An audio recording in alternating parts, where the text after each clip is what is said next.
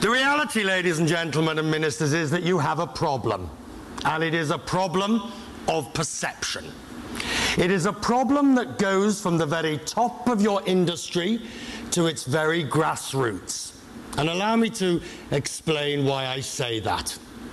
First of all, the one of perception, the extent, the depth, the range, the entire panoply of industries and people that are involved in tourism in its widest concept. The reality is that many people do not perceive themselves as being involved in the tourism industry. To be sure, if you're a flight attendant, or maybe you're working in a hotel, you can see the direct lineage between that which you do and the tourism industry overall.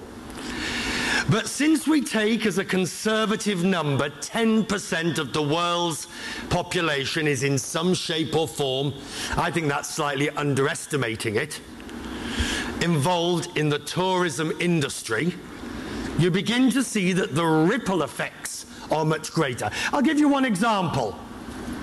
How many of you watch CNN when you're on holiday, when you're on vacation? So, does that mean that I'm involved in the tourism industry? Am I?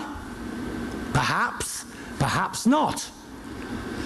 The second part of perceptual problems that you have is that when it comes to travel, and when it comes to tourism, and by that I'm defining it, and Jeffrey and I have had this argument before, as leisure tourism, not business tourism. When it comes to tourism, nobody wants to make the changes. The tourist is spending their hard earned cash going on their precious two week vacation. And there is a reluctance, what one might call NIMBYism. Not in my backyard. Let me rephrase that. Not on my vacation. But ultimately, ladies and gentlemen, we have to change the mindset of the tourist, whether it be the business traveller or the vacationer that we're in this sinking boat together and we need to offer them realistic possibilities and procedures to help bail us out of it. And I'll finish with one final thought. It's what I call, and I don't want to dwell on the so called towel debate, it's what I call the default position.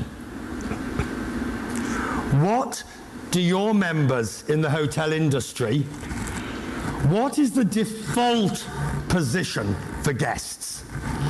Most hotels will tell you without shame or fury, the default position is we will change your sheets unless you tell us otherwise.